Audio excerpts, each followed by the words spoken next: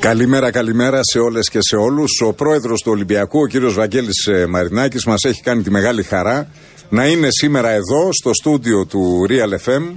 Πρόεδρε, καλώς ορίσατε. και καλή επιτυχία στις εκλογές. Τώρα, έχω δεκάδες μηνύματα από σύγαυρους οι οποίοι μου λένε άσε τις εκλογές και ρώτα για την ομάδα, ρώτα για τις μεταγραφές κλπ. Λοιπόν, σας ενημερώνω ότι τα τελευταία λεπτά της συνέντευξης θα τα αφιερώσω στον Ολυμπιακό και μπαίνω κατευθείαν στις δημοτικές εκλογές. Ερώτημα πρώτο.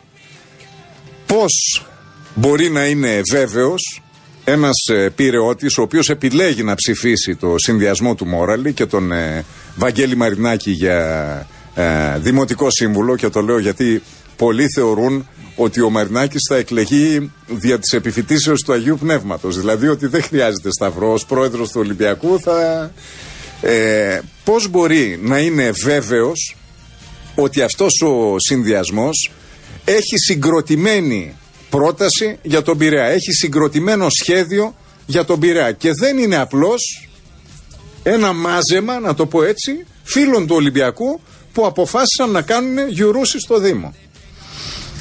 Ακριβώς το αντίθετο. Τις τελευταίες 30 μέρες άνθρωποι από όλες τις παραγωγικές τάξεις από το χώρο των τεχνών, των επιστημών κάτσαμε κάτω, δουλέψαμε σκληρά μέρα νύχτα και φτιάξαμε ένα πρόγραμμα το οποίο δεν θέλαμε να είναι ελκυστικό για να χαϊδέψει τα αυτιά των δημοτών στον Πειραιά. Θέλαμε να είναι ένα πρακτικό πρόγραμμα το οποίο μπορεί να δώσει άμεσες λύσεις και να ξεκινήσει το έργο. Αυτό είναι το ζητούμενο. Όχι τα λόγια, τα έργα. Πρόεδρε, έχω συγκεκριμένες ερωτήσεις από πολίτες ε, του Πειραιά. Λένε για παράδειγμα, εμείς θέλουμε να μας πούν τι θα κάνουν με τα κλειστά μαγαζιά του Πειραιά. Για παράδειγμα, θέλουμε να μας πούν τι θα γίνει, αλλά ας τα πιάσω ένα-ένα. Τα κλειστά μαγαζιά του Πειραιά είναι η, η κατάρα όλων των μεγάλων δήμων αυτή λόγω της ε, οικονομικής κρίσης. Έχει τρόπο ο Δήμος να βοηθήσει σε αυτό; Βέβαια έχει τρόπο. Οι άλλοι δήμοι δεν έχουν το μεγαλύτερο λιμάνι της χώρας, δεν έχουν τη θάλασσα, δεν έχουν τις φυσικές ομορφιές που έχει ο Πειραιάς. Άρα όλα αυτά εμείς πρέπει να τα εκμεταλλευτούμε για το καλό του Δημότη. Για παράδειγμα, κάθε χρόνο φτάνουν 2,5 και θα πάμε στα 3 εκατομμύρια τουρίστες. Με τις ε, κρουαζιέρες κλπ. Ναι. Λοιπόν, αυτοί οι άνθρωποι φτάνουν στον Πειραιά, μπαίνουν σε ένα λεωφορείο, σε ένα πούλμαν, πάνε στην Αθήνα, στην Ακρόπολη, στην Πλάκα και γυρνάνε πίσω, μπαίνουν στο πλοίο και αναχωρούν μετά από ορισμένες ώρες. Αυτούς τους ανθρώπους λοιπόν, αυτό που έπρεπε να, έχουν, να έχει γίνει και είναι αυτονόητο και είναι κάτι το οποίο είναι πάρα πολύ εύκολο, αρκεί να έχεις δουλέψει τη ζωή σου, να μπορείς να οργανώσεις, να διευθύνεις, είναι ότι αυτοί οι άνθρωποι πριν φτάσουν στον Πειραιά πρέπει να ξέρουν τι είναι ο Πειραιάς. Από ένα βιβλίο, από ένα ντοκιμαντέρ, μέσα στο πλοίο τους, καθώς επίσης να τους δώσεις ό,τι μπορείς, δηλαδή μια θερμή υποδοχή, ένα πολύ ωραίο περιβάλλοντα χώρο, να δείξεις τι είναι ο Πειραιάς. Για να μείνουν και να ξοδέψουν στην λοιπόν, πόλη. Με έρευνες που έχουμε κάνει, αν αυτοί οι άνθρωποι μείνουν έστω και δύο ώρες και περπατήσουν τον Περιά, αλλάζουν την τοπική οικονομία. Θα δείτε πολύ λιγότερα λουκέτα. Αυτό είναι το ζητούμενο. Η ανεργία στον Πειραιά είναι το νούμερο ένα πρόβλημα. Αυτή η μιζέρια στα πρόσωπα των νέων, των μεγαλύτερων ανθρώπων που τα παιδιά τους είναι άνεργα και οι ίδιοι είναι άνεργοι. Όλο αυτό είναι κάτι το οποίο το βλέπεις καθημερινά όπου να περπατήσεις τον Πειραιά και είναι κάτι το οποίο είναι νούμερο ένα πρόβλημα στον Πειραιά το οποίο πρέπει να δουλέψουμε και έχουμε το πλάνο και είμαστε έτοιμοι να το πράξουμε. Ε, σήμερα δεν θέτω εγώ ερωτήματα, θέτουν οι ακροατές μου.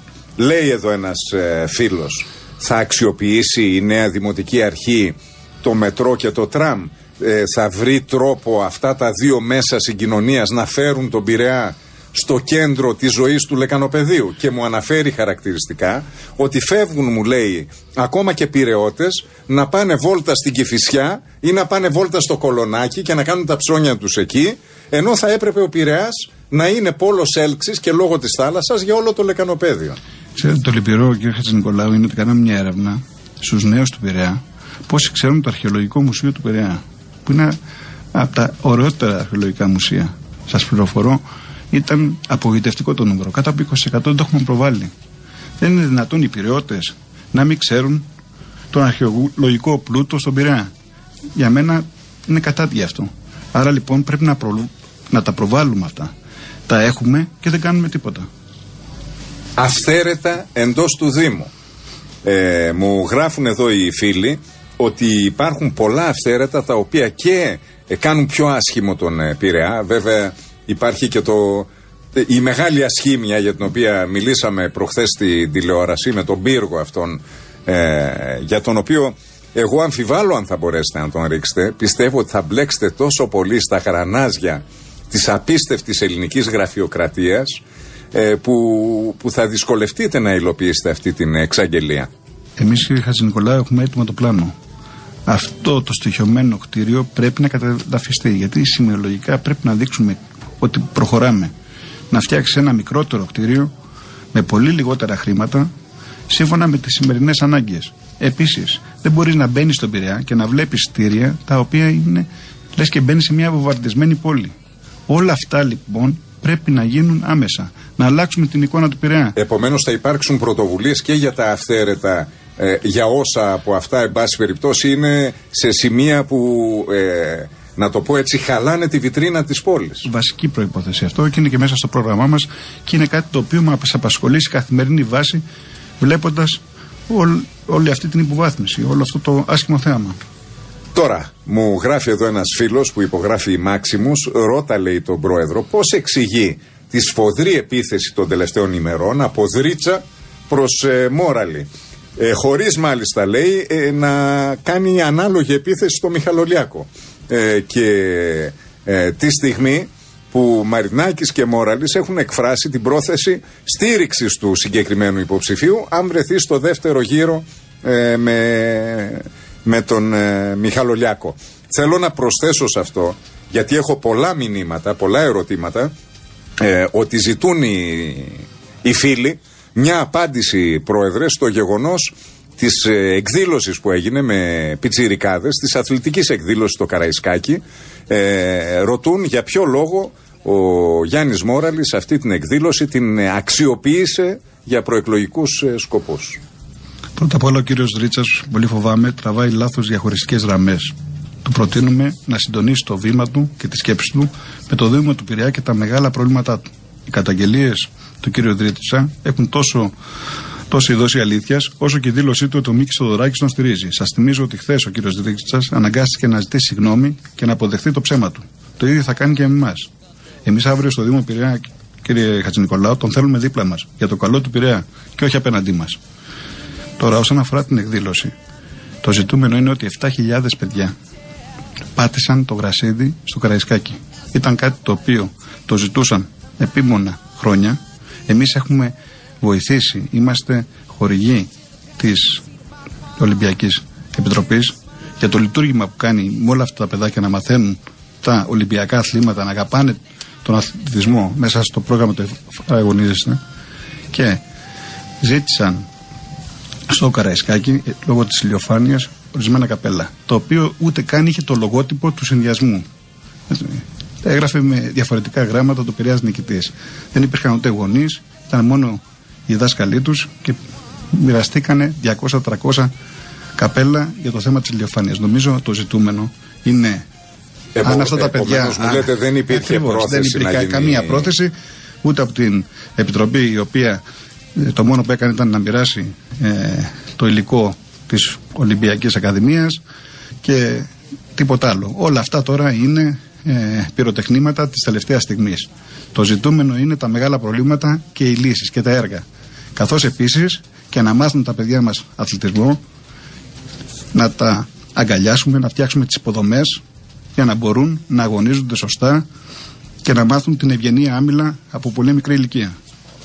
Λένα από την Καβάλα στέλνει την ερώτηση. Λέει ρώτα τον πρόεδρο γιατί δεν μπήκε ο ίδιος μπροστά να πάρει το Δήμο και πάει μόνο για δημοτικό σύμβουλο στηρίζοντας κάποιον άλλον.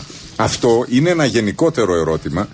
Ε, το, μου το έθεσαν πολλοί φίλοι και μετά την τηλεοπτική μας συνέντευξη ότι δηλαδή ε, ε, η αίσθηση που εμφανίζεται επειδή ο Μόραλης ήταν αντιπρόεδρος στον Ολυμπιακό είναι ότι ε, είναι μπροστά το κάρο και πίσω το άλογο. Δηλαδή, δηλαδή όπως μου γράφει ένας φίλος που είναι και Ολυμπιακάκιας, μου λέει ο, ο πρόεδρος είναι ο Ιμπαγάσα του συνδυασμού. Βέβαια, μου λέει ο Ιμπαγάσα της πρώτης χρονιάς, το δεκάρι.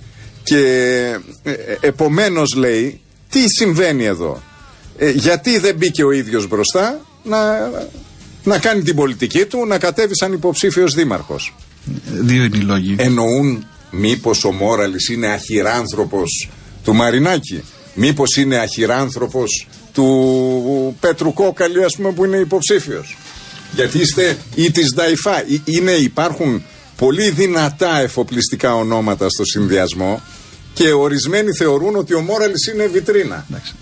Κύριε Χατζη Νικολάου, εγώ θα σας το θέσω διαφορετικά.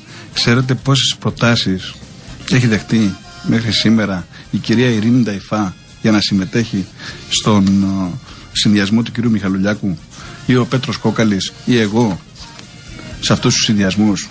Δηλαδή αυτοί οι κύριοι που μας κατηγορούν σήμερα, κατηγορούν τον κύριο Μόραλη, αν κατεβαίναμε εμείς δημοτικοί σύμβουλοι μαζί τους, θα έλεγαν όχι. Αλλά σας λέω, όχι μόνο θα έλεγαν όχι. Αλλά τρεις τούμπες στον αέρα θα κάνανε. Λοιπόν, Μας έχουν καλέσει επανειλημμένες φορές. Τώρα λοιπόν, βρήκαμε έναν άνθρωπο με τον οποίο έχουμε δουλέψει χρόνια, τον ξέρουμε, τον έχουμε δοκιμάσει. Είναι ένας, ένα τίμιο παιδί, τεχνοκράτης, ε, πολύ εργατικός, είναι δοκιμασμένος στα δύσκολα, έχει πετύχει, έχει όλο το χρόνο και τη διάθεση να τον αφιερώσει στο Δήμο του Πειραιά και επειδή εμείς σαν στρατιώτες σε αυτή την προσπάθεια είμαστε δίπλα του, μας κατηγορούν. Ε, νομίζω ότι δεν έχει καμία λογική. Επίσης είναι και το μήνυμα που στέλνεις όταν κατεβαίνεις σαν απλός στρατιώτης ότι βάζουμε το εγώ κάτω από το εμείς αν θέλουμε να πετύχουμε. Πρόεδρε, αυτό είναι πολύ σημαντικό. Πιστεύεις ότι μπορεί να τρόμαξες κάποιος με την απόφασή σου να μπει στην πολιτική, έστω και σε αυτή τη μικρή θέση, τη θέση του Δημοτικού Συμβούλου, που δεν είναι μια θέση ε, με μεγάλη δύναμη πυρός. Μπορεί κάποιοι να σκέφτονται ότι κάνει πρόλογο ο Μαρινάκης και θα ακολουθήσει κυρίως θέμα; Όχι, κοιτάξτε να δείτε. Εμείς έχουμε φτάσει στο σημείο για τις παραγωγικές τάξεις να απολογούμαστε γιατί θέλουμε να βοηθήσουμε στην τοπική αυτοδιοίκηση. Ακόμα και στην πολιτική ένας άνθρωπος ο οποίος έχει πετύχει. Γιατί να μην ασχοληθεί. Αλλά όσον αφορά το Βαγγέλη του Μαρινάκη, που έχει και όνομα και του, γιατί δεν με λένε ούτε Μπερλουσκόνη ούτε τίποτα. Είμαι ο Βαγγέλης ο Μαρινάκης από τον Πειραιά, που έχει γεννηθεί, έχει μεγαλώσει. το, το τελευταίο δεκαπενθήμερο έχει γίνει Βαγγέλης Μπερλουσκόνη. λοιπόν, είμαι ο Βαγγέλης ο Μαρινάκης από τον Πειραιά, που έχω γεννηθεί, έχω περπατήσει, έχω μεγαλώσει, έχω δουλέψει σκληρά μες στον Πειραιά, τον αγαπάω τον Πειραιά και θέλω να ασχοληθώ με την τοπική αυτοδιοίκηση να προσφέρω δεν έχει κάτι να μου δώσει ο Δήμος του Πειραιά. Ούτε θα μου ναυλώσει κανένα βαπόρι σε ψηλότερο νούμερο, ούτε θα μου επισκευάσει κάποιο βαπόρι στον Πειραιά χαμηλότερα, ούτε θα μας δώσει ένα προτάσμα στην αγαπημένη μας ομάδα. Όλα αυτά είναι αυτονόητα και πρέπει οπωσδήποτε ο κόσμος να το καταλάβει. Δεκάδες τα ερωτήματά σας. Θα θέσω πολλά από αυτά. Θα θέσω Χρήστο, που λες ότι δεν θα θέσω το ερώτημά σου. Ε, για την Ατάκα διδάξαμε ήθος μετά το ντέρμπι με τον ε, Παναθηναϊκό την εποχή του Σισε μου λέει θέλω να τον ρωτήσεις αν έχει μετανιώσει θα τον ρωτήσω στο τέλος της εκπομπής που θα το κάνω δύο-τρεις αθλητικές ερωτήσεις να Χρήστο που σε διαψεύδω και θα θέσω το ερώτημά σου πάμε σε μικρή διακοπή σε δύο-τρία λεπτά είμαστε και πάλι μαζί με τον πρόεδρο του Ολυμπιακού, τον κύριο Βαγγέλη Μαρινάκη, υποψήφιο δημοτικό σύμβουλο με τον ε, συνδυασμό του Γιάννη Μόραλη στον Πειραιά.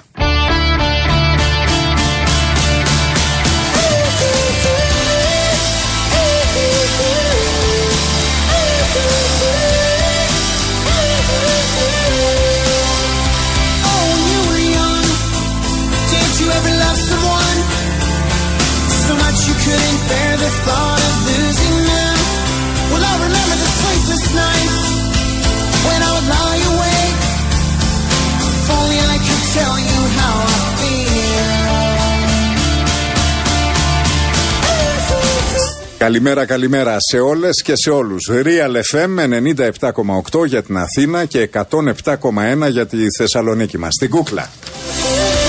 Πάνω Παπά στη ρύθμιση του ήχου, Γιάννης Βασιλόπουλος στις μουσικές επιλογές, Εύη Βουγιουκλιώτη στο τηλεφωνικό μας κέντρο 211-200-8200. Νίκος Χατζηνικολάου στο μικρόφωνο και έχω τη χαρά να φιλοξενώ σήμερα στο στούντιο του Real FM τον πρόεδρο του Ολυμπιακού, και υποψήφιο δημοτικό σύμβουλο στον Πειραιά με τον ε, συνδυασμό του Γιάννη Μόραλη, Πειραιάς νικητής, τον ε, κύριο Βαγγέλη Μαρινάκη.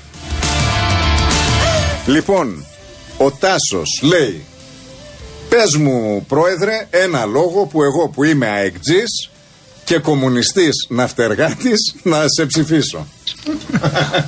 Πολύ ωραία ερώτηση. Τάσο τον... Τάσος. Ναι. Λοιπόν αγαπητέ Τάσο, πρώτον, η δέσμευσή μας ότι το λιμάνι δεν πωλείται, ότι διασφαλίζουμε τους, όλες τις θέσεις εργασίας και παράλληλα θέλουμε να δημιουργήσουμε νέες θέσεις εργασίας είναι ένας λόγος. Δεύτερος λόγος είναι ότι στο ψηφοδέλτιό μας υπάρχουν πέντε Παναθηναϊκοί, τέσσερις Αεξίδες και πολλοί εθνικοί και δεν κάνουμε διακρίσεις. Και τρίτο και βασικότερο να ξέρεις ότι εγώ και την ΑΕΚ και τον Παναθηναϊκό και τον ΜΠΑΟΚ τους θέλω πολύ δυνατούς. Για τον απλούστατο λόγο ότι όταν αυτές οι ομάδες είναι ανταγωνιστικές και δυνατές, ο Ολυμπιακός θα ανέβει επίπεδο και στην Ευρώπη. Θα είναι πολύ πιο ανταγωνιστικός. Άρα Θέλουμε να βλέπουμε ένα συναρπαστικό πρωτάθλημα. Θέλουμε να έχουμε τα, γη, τα γήπεδά μας γεμάτα. Άρα θέλουμε την ΑΕΚ, το Παναθηναϊκό, τον ΜΠΑΟΚ δυνατούς. Ο Αχηλέας, μου λέει Νίκο, σε παρακαλώ, ρώτησε τον κύριο Μαρινάκη τι θα κάνει ο συνδυασμός τους για το μουσικό σχολείο; Το πάνε στο, για κλείσιμο, μου λέει, στον Πειραιά και είναι ένα σχολείο με μεγάλη παράδοση. Το έχουμε πει αρκετές φορές ότι το, το σχολείο αυτό δεν θα κλείσει. Είναι κάτι το οποίο το χρειάζεται, είναι ένα σχολείο το οποίο το χρειάζεται ο Πειραιάς, είναι καλό για την παράδοση του Πειραιά και είναι κάτι το οποίο δεσμευόμαστε, το έχουμε πει, ότι δεν θα κλείσει. Ερώτηση από φίλο. Τι θα πει ο Πειραιάς, το λιμάνι του Πειραιά δεν πωλείται. Αν η κεντρική κυβέρνηση ε, αποφασίσει να το πωλήσει, πώς θα αντισταθεί ο Δήμος του Πειραιά; Θα κοντράρει ή θα κάνει πίσω; Σίγουρα θα κοντράρει. Εμείς είμαστε συνηθισμένοι στις κόντρες, κύριε Χατζη Νικολάου. Δεν είναι κάτι το οποίο ούτε μας φοβίζει ούτε μας αλλάζει την καθημερινότητά μας. Απλώς εγώ θέλω να πω το εξής. Δεν είναι δυνατόν το 97% των λιμανιών στην Ευρώπη να ανήκουν στους Δήμους τα επιμελητήρια. Να έχουν οι Δήμοι ενεργό συμμετοχή. Και να μην συμβαίνει αυτό στο μεγαλύτερο λιμάνι της χώρας, τον Πειραιά. Εμείς τι θέλουμε. Ο Δήμος να έχει ενεργό συμμετοχή στο λιμάνι και να αποφασίζει καθώς επίσης και να διασφαλιστούν όλες οι θέσεις εργασίας για τους εργαζόμενους και να υπάρξει ένα πλάνο ανάπτυξης να δημιουργήσουμε και νέες θέσεις εργασίας. Σας λέω λοιπόν ότι αυτές οι δικαιολογίες περί τα ΙΠΕΔ και Τρόικας και ότι έχει αποφασιστεί να πουληθεί δεν τις ακούμε. Εμείς λέμε ότι το λιμάνι πρέπει να παραμείνει στο δημόσιο πρέπει να αξιοποιηθεί και πρέπει να αξιοποιηθεί σε πολλούς ιδιώτες και όχι σε έναν. Μάλιστα. Ε, πολλά μηνύματα από Κερατσίνη και από Καμίνια και από Αγία Σοφιά ρωτούν τι θα κάνει ο συνδυασμός σας και πώς θα εξασφαλίσει ότι δεν θα υπάρξει ε, ανάπτυξη και αλλαγή μόνο στο κέντρο του Πειραιά αλλά και στις απομακρυσμένες γειτονιές που είναι υποβαθμισμένες. Σας θυμίζω ότι ξεκινήσαμε την εκστρατεία αυτή, την καμπάνια μας μέσα από τα καμίνια. Για μας ο Πειραιάς είναι ένας. Δεν είναι μόνο το κέντρο. Είναι όλες οι περιοχές του Πειραιά. Όλες οι γειτονιές. Και δηλαδή το πρόγραμμά μας είναι ένα πρόγραμμα ανάπτυξης σε κάθε γειτονιά. Είτε αυτό λέγεται αθλητισμός, είτε αυτό λέγεται ένα πολιτιστικό πρόγραμμα, είτε αυτό λέγεται πράσινο, είτε αυτό λέγεται καθαριότητα, είτε αυτό λέγονται θέσεις εργασίας. Είναι κάτι το οποίο θέλουμε όλο το Πειραιά να συμμετέχει σε αυτό όλες τις γειτονιές. Δηλαδή δεν είναι δυνατόν να μπαίνεις στο σπίτι σου, να είναι καθαρό το σαλόνι και τα υπνοδωμάτια, τα μπάνια και αυτά να μην μπορείς να μπεις μέσα από καταστασία ή ο χώρος να είναι πολύ πιο υποβαθισμένο. Έτσι λοιπόν το πρόγραμμά μας βασίζεται πάνω σε κάθε γειτονιά του Πειραιά. Αυτό είναι πάρα πολύ σημαντικό είναι κάτι το οποίο δεν έχει συμβεί στο παρελθόν και είμαι ιδιαίτερα χαρούμενος που όλο μας το πρόγραμμα έχει βασιστεί για κάθε γειτονιά του Πειραιά να υπάρξει μια αναβάθμιση. Πολλά μηνύματα για το κυκλοφοριακό στον Πειραιά και για τις μονοδρομήσεις. Ότι είναι ε, μια κυκλοφοριακή τρέλα ότι υπάρχει στον Πειραιά. Κοιτάξτε και αυτό ήταν ένα κακόγουστο προεκλογικό τρικ. Πιάστηκε ο απερχόμενος δήμαρχος χωρίς να έχει μια σωστή μελέτη, βιάστηκε να μονοδρομήσει. Αν μιλήσετε με πάρα πολλούς δημότες, με πάρα πολλούς καταστηματάρχες, θα δείτε ότι έχουν φρικτά παράπονα γιατί έγινε κάτι χωρίς ε, μελέτη, χωρίς σχεδιασμό. Για να πάτε να δείτε τι γίνεται στο λιμάνι, όλη η κίνηση μεταφέρεται στο λιμάνι. Είναι κάτι το οποίο εμείς θα πρέπει και να το μελετήσουμε και να κάνουμε πολλές διορθωτικές αλλαγές. Λοιπόν, τώρα αυτό είναι μήνυμα που δεν αφορά τον υποψήφιο Δημοτικό Σύμβουλο, αφορά τον πρόεδρο του Ολυμπιακού, αλλά επειδή είναι κοινωνικής σημασίας μήνυμα, θέλω να το πω. Ε, ζητά ένας φίλος, ο Δημήτρης, επειδή ε, οι τρίτεκνοι και αυτοί που έχουν τέσσερα παιδιά, οι πολύτεκνοι γενικώς, έχουν δυσκολία να πάνε στο γήπεδο. Φαντάσουμε, μου γράφει, έχω τέσσερα παιδιά, πρέπει να βγάλω πέντε εισιτήρια για να πάμε στο γήπεδο. Να βρεθεί ένας τρόπος, ειδικά για τα παιδιά των πολυτέκνων, να έχουν μειωμένες ε, τιμές στα εισιτήρια. Έχει, έχει απόλυτο δίκιο. Ε, εμείς στον Ολυμπιακό και πέρυσι και πρόπερσι έχουμε ήδη ξεκινήσει ε, μια κοινωνική προσφορά σε δύο θύρες σε ανθρώπους οι οποίοι έχουν, είτε έχουν χαμηλό εισόδημα είτε είναι άνεργοι και το θέμα των πολυτέχνων είναι κάτι το οποίο είναι σοβαρό και θα δει ε, σε επόμενες τρεις εβδομάδες όταν θα, θα πάρει πρωτοβουλίες ο Ολυμπιακός. Πολύ καλό είναι αυτό και πολύ χρήσιμο. Τώρα, με το Μιχαλολιάκο, τι γίνεται, Πρόεδρε; Θέλω να πω, θα μπορέσετε να συνεργαστείτε στο Δημοτικό Συμβούλιο. Η ένταση που έχει δημιουργηθεί είναι πολύ μεγάλη το τελευταίο διάστημα. Ορισμένοι μάλιστα λένε, ε, το ρώτησα και στην τηλεοπτική μας συνέντευξη, ότι ο Μαρινάκης αποφάσισε να, ε, να μπει στην κούρσα για τις δημοτικές εκλογές ε, γιατί τον τσάτισε το γεγονός ότι ο Μιχαλολιάκος δεν δείχνει ε, τον δέοντα σεβασμό, να το πω έτσι, στον Ολυμπιακό. Κοιτάξτε, δεν θα ήθελα τελευταίες μέρες να ασχοληθώ με τον κύριο Μιχαλουλιάκο. Ελπίζω ο κύριος ο απερχόμενος δήμαρχος να μην παραιτηθεί μετά από τις εκλογές, να παραμείνει σαν δημοτικός σύμβουλος στην αντιπολίτευση και μαζί μας να βοηθήσει και αυτός όσο μπορεί για το καλό του Πειραιά. Εγώ αυτό θέλω να πω από εκεί πέρα, όσον αφορά τον εραστέχνη Ολυμπιακό, γιατί δεν μιλάμε για την ΠαΕ Ολυμπιακός, ο εραστέχνη Ολυμπιακός, πάρα πολλές φορές. Έχει παράπονα 14 φορές πήγε στο Δήμο να ζητήσει χώρους, να τους αξιοποιήσει ο εραστέχνη χωρίς κανένα έξοδο από τον Δήμο για να στεγαστούν μικρά παιδιά τα οποία ανήκουν στο φυτόριο των διάφορων ομάδων, οι οποίες ομάδες πρωταγωνιστούν στην Ελλάδα. Θεωρώ ότι ήταν υποχρέωση, θα ήταν υποχρέωση και είναι υποχρέωση κάθε δη, δήμαρχου να το δει επικοδομητικά και να πράξει ό,τι πρέπει. Δυστυχώς ο απερχόμενος δήμαρχος δεν το έκανε. Ήταν ένα λάθος του το οποίο είχε όλο το χρόνο να το διορθώσει και δεν το έπραξε. Τίποτα παραπάνω, τίποτα λιγότερο. Πάμε σε μια μικρή διακοπή. Όταν επανέλθουμε θα μπούμε στο τελευταίο δεκάλεπτο της συνέντευξής μας με τον πρόεδρο του Ολυμπιακού, εδώ τα παιδιά του Πάμε Sports συγκεντρώσανε τα, τα αθλητικά ερωτήματα που έχουν έρθει και έχω τρία-τέσσερα δυνατά ερωτήματα. Εννοείται ότι θα ρωτήσω για μεταγραφές, εννοείται ότι θα ρωτήσω για διαιτησία και πώς μπορεί να βελτιωθεί στο μέλλον, στο ελληνικό πρωτάθλημα. Εννοείται ότι θα ρωτήσω, έκανε ήδη μια ανοίξη ο πρόεδρος του Ολυμπιακού για τον ανταγωνισμό και πώς θα γίνει πιο ισχυρός ο ανταγωνισμός στο ελληνικό πρωτάθλημα. Σε δύο-τρία λεπτά είμαστε και πάλι μαζί.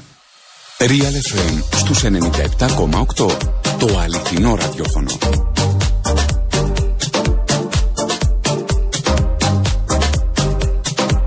Έχουμε βέβαια και πολλά χιουμοριστικά μηνύματα, όπως για παράδειγμα εδώ τον ε, φίλο, πιο σκληρό Ολυμπιακό από ό,τι φαίνεται από εμάς, που θέλει στα σχολεία να υπάρχουν στον Πειραιά μόνο δάσκαλοι και καθηγητές που είναι του Ολυμπιακού για να μην μολύνονται, λέει τα παιδιά. Ή για παράδειγμα το μήνυμα του φίλου που είναι Παναθηναϊκός και λέει αν σκοντάψει καμιά γριά στο πεζοδρόμιο στο Δημοτικό Θέατρο ο Μόραλης θα σφυρίξει πέναλτι. Ωραίο. Καλό. Λοιπόν, Πρόεδρε, πολλά μηνύματα που τα βλέπω τώρα για το πάρκινγκ στον Πειραιά. Ότι δεν υπάρχουν χώροι για να παρκάρουν και ότι ένας από τους λόγους που δεν κατεβαίνουν στον Πειραιά για να ψωνίσουν είναι αυτό, είναι το θέμα του πάρκινγκ. Το θέμα του πάρκινγκ είναι κάτι το οποίο μας έχει απασχολήσει Όπως επίσης μας έχουν απασχολήσει ορισμένες πεζοδρομίες οι οποίες πρέπει να γίνουν στον Πειραιά. Και το άλλο πράγμα το οποίο κοιτάμε είναι για χώρους πάρκινγκ να έχουμε αφορούς χώρους οι οποίοι δεν έχουν αξιοποιηθεί και με ένα πολύ χαμηλό κόστος υπαίθριο πάρκινγκ νομίζω ότι δίνει λύσεις σε αυτό το μεγάλο πρόβλημα. Πάντως είναι από τα κεντρικά ζητήματα που πρέπει να δει η καινούργια δημοτική το αρχή. Έχουμε κοιτάξει και το έχουμε κοιτάξει σοβαρά αυτό. Τώρα, ε, επανέρχομαι στο ερώτημα του φίλου του Παοκτσί από τη Θεσσαλονίκη που με ρώτησε αν μετάνιωσε ο πρόεδρος του Ολυμπιακού για τη δήλωση μετά το ντέρμπι με τον Παναθηναϊκό, επίσης έλεμε τώρα, στο ξεκίνημα της ε, θητείας του Βαγγέλη Μαρινάκη, τη δήλωση διδάξαμε ήθος παρά τα επεισόδια στον αγώνα εκείνο. Κοιτάξτε, ήταν. Ε, είχαμε πάρα πολύ ένταση μετά το παιχνίδι. Ήταν ένα λάθος το οποίο το παραδέχτηκα την επόμενη μέρα και το καταδίκασα. Αλλά αυτό που έχει σημασία είναι ότι δεν έχει ξανασυμβεί κάτι παρόμοιο. Και αυτό είναι το βασικό, να διορθώνεις και να καταδικάζεις λάθη. Στη Τούμπα, αυτή η κτηνοδία το επαναλαμβάνω που έγινε πριν από ένα μήνα του ελληνικού ποδοσφαίρου δεν είδα ούτε να την καταδικάζουν ούτε να παίρνουν μέτρα. Αυτό είναι το ζητούμενο. Ότι πρέπει να πάρθουν μέτρα. Και επίσης οι πρόεδροι ιδιοκτήτε. Μήπως ήρθε η ώρα για μια πρωτοβουλία των ιδιοκτητών των ομάδων για τα φαινόμενα βίας ε, στο ποδόσφαιρο; Η... Νομίζω ότι πιστεύω μάλλον ότι αυτό που πρέπει να γίνει είναι να βρεθούν λύσεις από μέσα. Δηλαδή, αν δείτε τι, έχει, τι έγινε στη Τούμπα, τι έγινε στη Λεωφόρο, θα δείτε ότι πολλά μπορούσαν να κάνουν οι πρόεδροι και οι ιδιοκτήτες των ομάδων αυτών. Δυστυχώς δεν το έχουν πράξει. Όταν, όταν λοιπόν αποφασίσουν να το πράξουν και δούμε τα πρώτα δείγματα, τότε να κάτσουμε σε ένα τραπέζι να βρούμε και ακόμα περισσότερες λύσεις. Ρωτάω ο φίλος ο Βασίλης αν ε, συμφωνείτε, Πρόεδρε, στο να γίνει πολύ πιο αυστηρή η νομοθεσία για τα επεισόδια. Με βρίσκει σύμφωνο. Να πάει δηλαδή προς το αγγλικό πρότυπο, όπου ο Χούλιγκαν αντιμετωπίζει πολύ, πολύ αυστηρή νομοθεσία. Δεν έχουμε κανένα θέμα, αλλά ξέρετε τι γίνεται. Είναι και το γήπεδο, είναι πώς συμπεριφέρεσαι στους οπαδούς, στους οργανωμένους, ε, τι τους λες, ε, πόσο συχνά τους βλέπεις, γιατί τους βλέπεις. Ξέρετε, όλα αυτά θέλουν δουλειά. Δεν είναι κάτι το οποίο ξαφνικά το βλέπεις και το αντιμετωπίζεις. Μου γράφει εδώ καλό ερώτημα ο Γιώργος. Μου λέει ο Μαρινάκης είναι ένας επιχειρηματίας, ένας εφοπλιστής που δεν έχει εμπλακεί ούτε με δημόσια έργα, ούτε με δημόσιες συμβάσεις. Δεν έχει δουλειές με το δημόσιο. Καμία δουλειά. Έχει μάθει να λειτουργεί με καθαρά ιδιωτικο-οικονομικά κριτήρια. Πώς θα τα καταφέρει τώρα απέναντι στη δημόσια γραφειοκρατία, Μήπως σηκώσει τα χέρια ψηλά σε τρεις μήνες βλέποντας ότι δεν ξεκολλάει τίποτα από το. Το μόνο που δεν μπορούν να πούν για τον Μαρινάκη είναι ότι σηκώνει τα χέρια ψηλά. Αλλά σας λέω το εξής, ότι ε, η εταιρεία μου που βρίσκεται στο Αμερικανικό Χρηματιστήριο στο Nasdaq λειτουργεί ε, με corporate κριτήρια, δηλαδή με κριτήρια τα οποία υπάρχει έλεγχος, ε, ο καθένας ξέρει τι να κάνει, πότε να το κάνει, ελέγχεται και ελέγχεται από ουδέτερες αρχές και αυτό είναι πολύ σημαντικό στο πώς διοικείς μια επιχείρηση. Έτσι λοιπόν, δηλαδή δεν είναι μια επιχείρηση η οποία αποφασίζει ο Μαρινάκης για το ένα, για το άλλο. Ε, υπάρχουν διαδικασίες, υπάρχουν συμβούλια, βγαίνουν αποφάσεις και όλα αυτά ελέγχονται και ελέγχονται πολύ σκληρά, με πολύ ε, σκληρά κριτήρια. Οπότε είναι κάτι το οποίο το έχουμε συνηθίσει ε, και μας έχει βοηθήσει πάρα πολύ γιατί έχουμε μάθει να κάνουμε πράγματα με το σωστό τρόπο, να μας ελέγχουν καθημερινά και να παίρνουμε συλλογικές αποφάσεις. Αυτό νομίζω είναι πάρα πολύ σημαντικό για το Δήμο και για το αύριο του Πειραιά. Η μεταφορά αυτής της εμπειρίας. Ακριβώς. Τώρα, ε, πάμε sports.gr. Αναλαμβάνουν ε, Παύλος Παπαδημητρίου και λοιπά. Μου έχουν στείλει ερωτήσεις. Έτσι, για να μην λέω ότι τα ξέρω όλα ε, ρωτούν. Γράφονται, ακούγονται και προκύπτουν πολλά από το ρεπορτάζ για μεγάλα ονόματα, για μεταγραφές βόμβες στον Ολυμπιακό. Τι γίνεται, υπάρχουν επαφές; Ακούσαμε από το Μάριο Γκόμες, από το Φάντε Φάρτ, από το Ροναλντίνιο. Κάθε καλοκαίρι το ζούμε αυτό με τις ε, μεταγραφές. Λοιπόν, ποια από αυτά έχουν ε, σχέση με την πραγματικότητα και γενικά ποια θα είναι η πολιτική του Ολυμπιακού για τις μεταγραφές; Η πολιτική δεν αλλάζει. Αυτό που έχουμε να πούμε είναι το εξής. Ο Ολυμπιακός θα ενισχυθεί με τέσσερις πάρα πολύ καλούς παίχτε. Επίσης, στον Ολυμπιακό έρχονται σύντομα δύο Ελληνόπουλα. Γιατί για μας είναι βασικό. Μιλάμε για Φορτούνη και Κονέ. Κοντά είσαστε. Κοντά. Λοιπόν. Α, ή ξέρω εγώ για Σαμαρά, γιατί ακούω ότι παίζει και το όνομα του Σαμαρά. Είναι ε, δύο πολύ ταλαντούχοι νέοι, τους οποίους τους θέλουμε κοντά μας. Ελπίζουμε ότι την επόμενη εβδομάδα, τέλος επόμενης εβδομάδας, θα έχουμε νέα. Θα έχουμε νέα. Ε, με τον Πουλίδο τι γίνεται, έχει μπλέξει αυτό με τους ε, μάνατζερ κλπ. Ο Πουλίδο έχει υπογράψει τον Ολυμπιακό. Να και η είδηση. Ναι. και περιμένουμε ορισμένα γραφειοκρατικά από το Μεξικό. Πιστεύουμε λοιπόν ότι ε, από τις πληροφορίες που έχουμε από τους δικηγόρους είναι μας θέμα είναι, είναι θέμα χρόνου γιατί στο Μεξικό δεν, γίνονται, δεν είναι και οι πιο γρήγοροι άνθρωποι στον κόσμο όπως ξέρετε. Σομπρέρο. Ε, η υπόθεση Διόπ, Λεβάντε, σε ποιο στάδιο βρίσκεται; Λοιπόν, τον Διόπ τον παρακολουθούμε δύο χρόνια. Έχουμε ήδη κάνει προσφορά. Αναμένουμε. Ε, βέβαια. Είναι στο παιχνίδι της διεκδίκησής του Ολυμπιακού. Είναι στο παιχνίδι. Είναι ένας παίκτης ο οποίος μας αρέσει, αλλά θα πρέπει και αυτός να δεχτεί τους όρους μας. Μάλιστα. Ο Σαβιόλα μένει ή φεύγει; Ο Σαβιόλα μένει. Ο Σαβιόλα μένει. Ε, υπάρχει, υπάρχει άλλο μεγάλο όνομα για το οποίο δεν μου απαντήσατε για Γκόμες, Φαντεφάρτ, για Ροναλντίνι, όλα αυτά που συζητιόνται. Υπάρχει κάποιο μεγάλο όνομα που είναι υπάρχουν, στον αέρα. Για... Υπάρχουν τρεις με τέσσερις πάρα πολύ καλοί παίχτες. Το θέμα ονόματος ε, υπάρχουν πάρα πολύ καλοί παίχτες που οι ειδικοί του ποδοσφαίρου τους γνωρίζουν και τους παρακολουθούν. Υπάρχουν και άλλοι πολύ καλοί παίχτες που είναι γνωστοί στο ευρύ κοινό και βέβαια αυτοί μπορεί να, έχουν, να είναι και μεγαλύτερη ηλικία.